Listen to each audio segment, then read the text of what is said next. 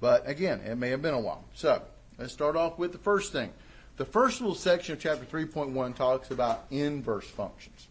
Now, before we get into inverse functions, we define what it means to be, have a one-to-one function. A one-to-one function is a function that for every element in the range corresponds to, to only one element in the domain. One element in the domain maps to one element in the range. One to one. Which means, by definition, f, if f of a equals f of b, that will imply a has to be equal to b. Because there's only one element in the domain that's going to map to the range. So if the ranges are equal, the domains have to be equal to each other. But the way we used to do it in, um, like I said, high school, was that uh, when we were looking at a particular function, trying to figure out if it's one to one or not, we had a special type of test called the horizontal line test. Remind yourself, there were two different line tests that you guys studied in high school algebra 2, whatever. There was the vertical line test, which tell you if you had a function or not. Vertical line goes up and down, and if it passes through graph only once, then the function was a it is a function. If it passes through a, a vertical line passes through a graph more than once, it was not a function. To make it a hor, the uh, one-to-one function, you have to have a horizontal line test. Horizontal line test runs from side to side.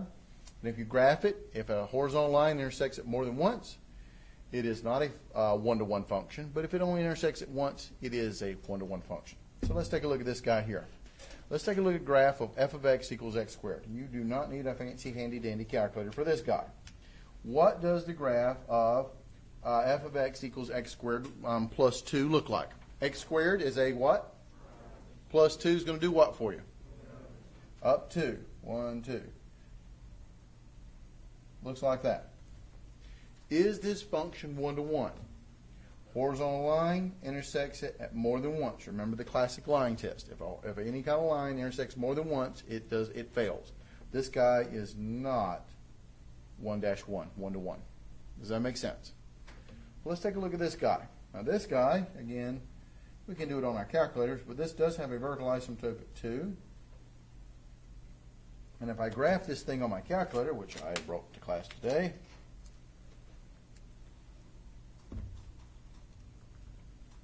we get this. x divided by parentheses, x minus 2.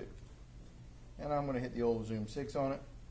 And I get this picture that does this. It's there, goes through the origin, drops down, comes up here, goes over here, and I do have that vertical asymptote right in the middle. Question, though, is, is this guy one-to-one, yes or no? any horizontal line intersects it only once. So this guy is, the answer is yes to one to one. This guy is a one to one function. And how you basically tell is basically graph it and look for that horizontal line test. Now that being said, there's a reason why we're studying these special kind of one to one functions. Next definition is the definition of an inverse function. Now, the big idea behind inverse functions. So let me give you the big deal on this inverses. You got x, you got y coordinates of a function. x is your input or independent variable. y is the dependent or output variable. So you have something like you have a circuit. So you want to put in amps and you want to crank out voltage. So you tell the little function the certain amps that you're going to have, and then your uh, output would be how much voltage this thing's going to generate. Does that make sense? Input, output. But what if you would like to switch that up? I would like to input the voltage and the output be the amps. So I basically want to switch the roles of X and Y, switch the roles of independent, dependent. Well, that when you do that, that is called an inverse function. You're turning the X and Y back on itself. You're switching the X and Y, the independent and dependent variables. So, again, reviewing this as, uh, like I said, as a classic review, let f of x be a function such as 1 to 1. First off, before you can even talk about inverse functions, the real deal is it has to be a 1 to 1 function first that goes to the point a, b. Then f with a little minus 1 above the little f there, x, is called f inverse of x, is, is called f inverse of x. Rules we have. If I take the composition, remember composition, plugging the one function into the x of another function, if I take the composition of a function with its inverse uh, and clean it up, I always get x out of it. Don't cancel each other out, and x will be the only thing left over. That's what happens with inverses. f inverse of x will go through the point BA. And remember, the original function went through AB. The inverse goes to the point BA. Okay? It switches the x and y. And since it switches the x and y, one other little notation you can expect on inverses is the domain of f of x is going to be the range of f inverse of x. And the domain of f inverse of x will be the range of f of x. The domains and range are going to switch with the inverses because the x and y is a switch. Finding inverse functions is this. There are basically five steps to finding an inverse function. Step number one, you got to make sure the function is one to one. If it's not one to one, it does not have an inverse function. Step number two, replace the notation f of x, g of x, whatever you happen to have, with y, because that'll make the math easier. The mo most important step in terms of finding inverse functions is step number three, which is interchange or switch the x and y coordinates. So wherever there's an x, put a y. Wherever there's a y, put an x. That makes inverses. And then solve for y, and then the last thing you're going to do, well, that's the big algebra step right there, and then replace y with f inverse of x. You've declared, declared what the inverse function is going to be. So let's take a look at some examples based upon this uh, B and C levels that I've created here. It says this, verify that the functions are inverses of one another. The key word is the word verify. Giving you guys helpful hints on the old WeBWorK type thing here. Uh, verify the functions are inverses of one another. Well, the trick for checking for inverses is that composition statement right there. If I take the composition of the two guys and plug plug one function into the x of the other function and clean it up and only x pops out, they're inverses. If something other than x, 2x, x plus 1, whatever, then they're not inverses. Now, with this one, there's two ways you can officially verify. I can take this function right here and actually find the inverse of it and see if it's this function over here. But that's going to be the long way. The easiest way to do this is take the composition of the two. And remind you, f of g of x. Take the composition of these two. This is f of g of x, and who's on the outside? f. So f is your commander. So what does he look like? He looks like the cube root of, leave a little blank for x, plus 4. That is what f looks like. But it's f of g of x. So what's inside the parentheses, g of x, is going to replace the x in the original f function. There's my parentheses, there's where the x was at, and I'm plugging in the g function, which is x cubed minus 4. Now, clean this guy up. This would be the cube root of, well, since there's nothing really in front of that uh, x cubed minus 4, you can drop the parentheses, x cubed minus 4 plus 4. Order of operations, what happens to the 4? I got a minus 4 plus 4. They cancel, leaving you with the cube root of x cubed. And what do cubes and cube roots do to each other? What's the word you're left with? X. And since I got X out of this thing, and the thing tells me, my little theorem up here, that with the composition of the function with its inverse, if I get X out of it, they're inverses of each other. So the question is, verify that the functions inverses each other. Well, therefore, g of x must be the same as f inverse of x, because I got x out of this thing when I cleaned it up. Does that make sense? They are inverses of one another. What's that? Every, every problem that says verify, because in, in the sense that verify, they're going to give you two functions. They're going to ask you, are these two inverses of one another? Yes or no? This is the fastest way of doing that.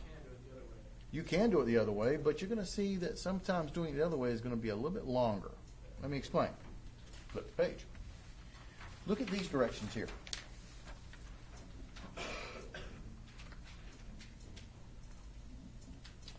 Now, notice the difference in the directions. The directions on these guys are find the inverse for each of the following. I didn't say verify anything. I'm giving you one function. I'm telling you find its inverse. All right, so let's do this in steps. So this first guy, let me blow it up a little bit so you guys can see it. k of x is equal to x minus 1 cubed. The first thing you need to do is step one. We've got to check this thing for one-to-one functions. How do I check for one-to-one? Graph it. x minus 1 cubed. Well, this is an x cubed graph, which is a squiggly line. Minus 1 is going to shift it which way? Uh, which one? Left or right? Inside the parentheses works opposite. Go right one unit. So this is over here at 1. And this is what my graph looks like. You could also put him on the calculator if you would like to. And I will do that just to prove it to you guys. Parentheses x minus 1 cubed. But my point is, you don't have to use a calculator on each one of these problems. So, yep, there's my function there. Is it one to one? Is the big question, though. Yes, it is. Any horizontal line only intersects once. So, yes on the one to one. So we get to continue on. Step number two.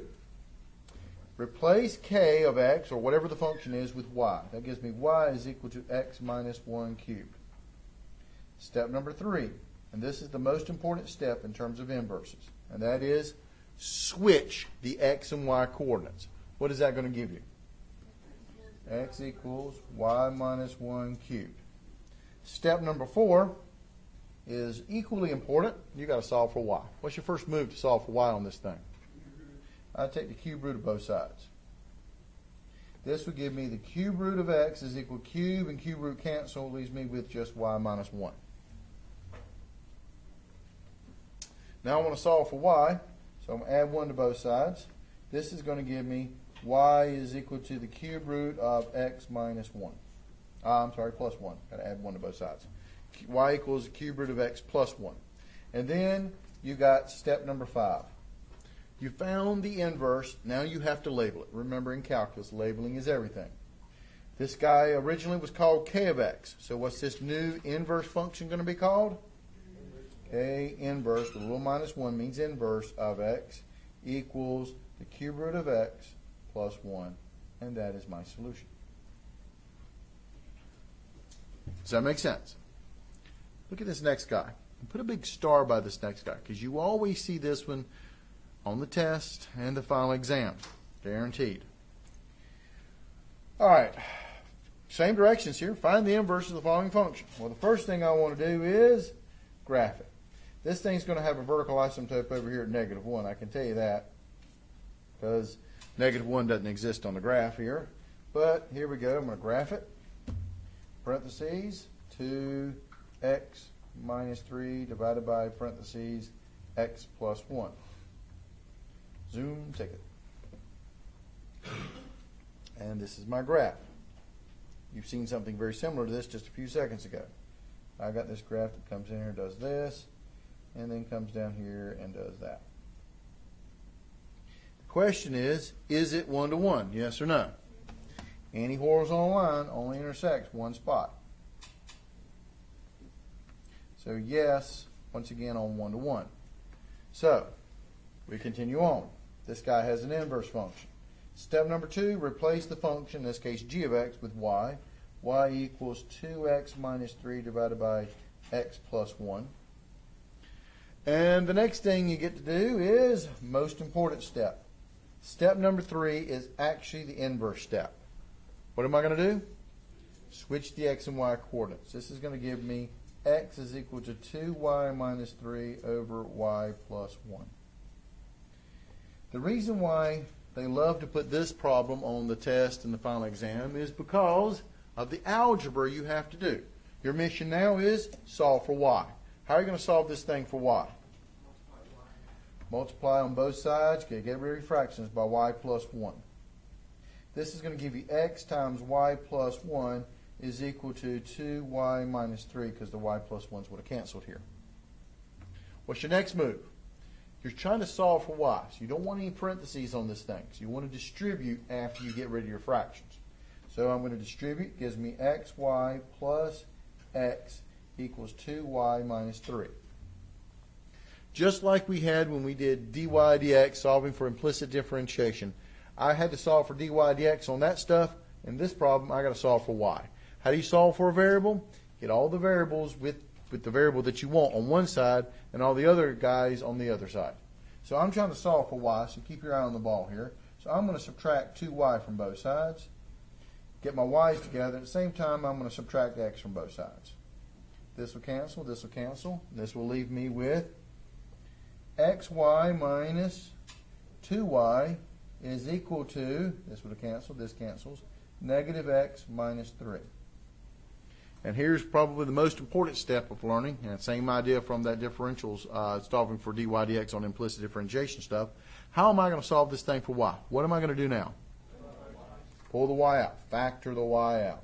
That gives me y times x minus 2 is equal to negative x minus 3. And then the last move, divide by x minus 2 on both sides, get that y by himself. Leaves me with y is equal to negative x minus 3 divided by x minus 2. Am I done?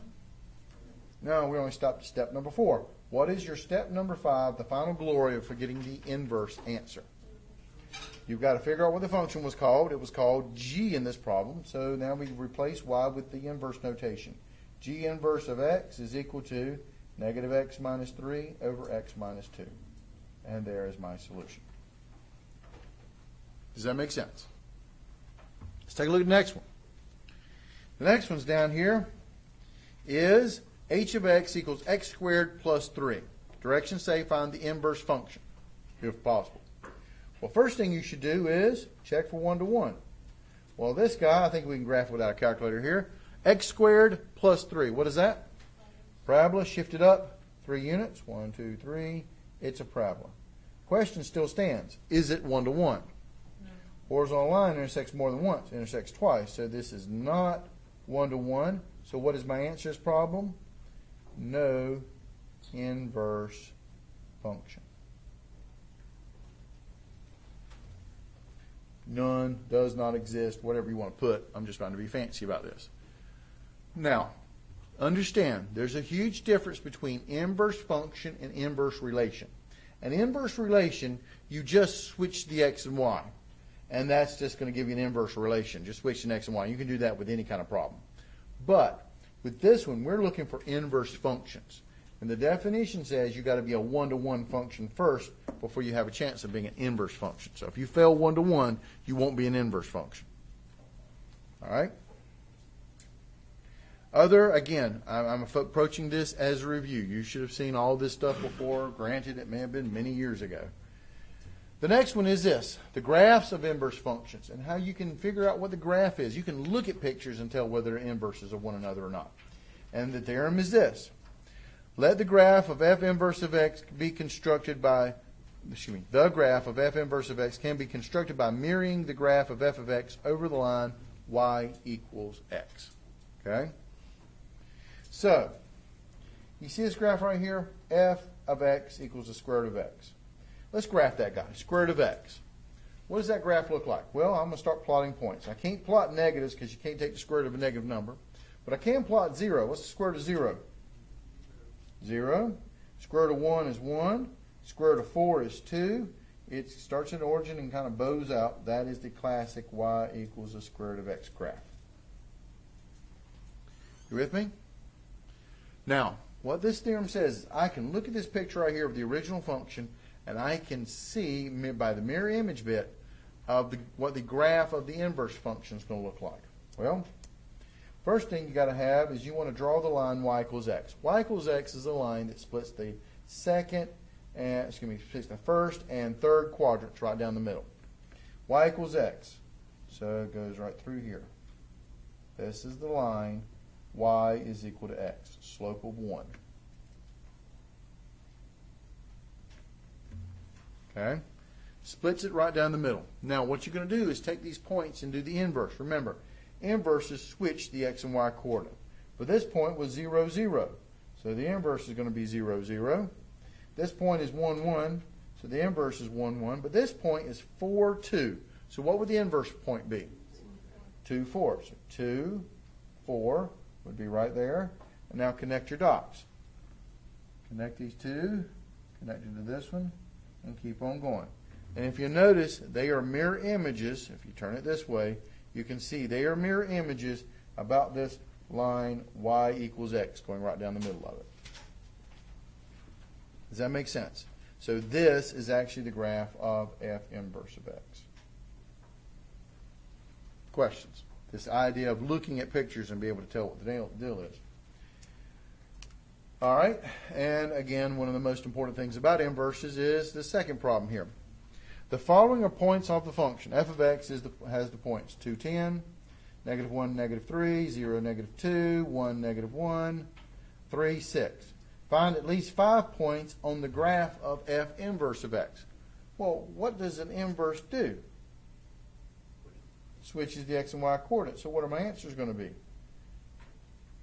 10, 2, negative 3, negative 1, negative 2, 0, negative 1, 1, and 6, 3. Notice what I did.